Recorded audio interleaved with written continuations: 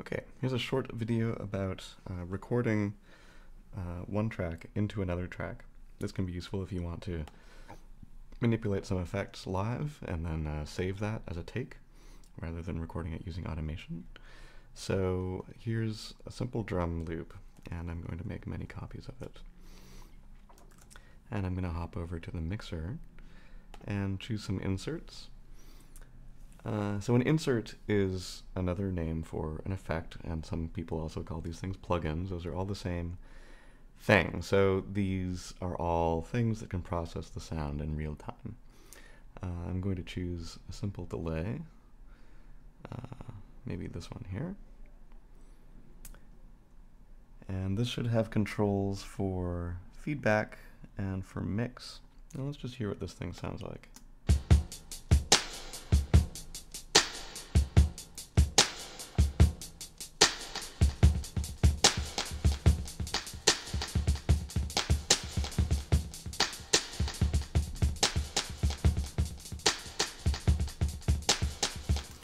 So you can see this is a stereo delay. Uh, it's taking this sound file and it's delaying the left and right sides, and I can manipulate how those are being uh, delayed. Common controls to most effects are include a mix control. There's usually a mix control. This is mixing between the dry and the wet, or the original and the affected. So I'm going to start with both of these at zero. And uh, it would be nice, I think, to record a performance of me just kind of improvising with those for a little bit. So I'm going to make a new track. I'm going to make a new stereo audio track down here. And I'm going to hop over to the mixer, and I'm going to create a send that goes to bus 1, 2. So these buses are just used for internally routing sound around in Pro Tools and I get this little window that pops up. If I want to see this window at any point, I can just push that bus 1, 2 thing, and the window will pop up. And if I hold down Option and click the fader, it'll hop up to 0. And now on this new track that I've made, uh, I'm going to go ahead actually and flip to the edit window, double click here and name this, and call it Rec.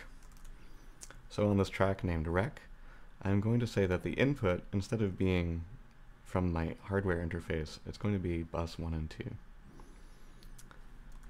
So now this track is set up to record on bus 1 and 2, and this track has a send that's going out bus 1 and 2.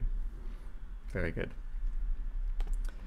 So I'm going to arm that for recording. I'm going to push the record button up here. And last but not least, I'm going to bring up my effect. And I'm going to press play, and this will start recording down here, and then as I manipulate the effect, that'll get written to this file here.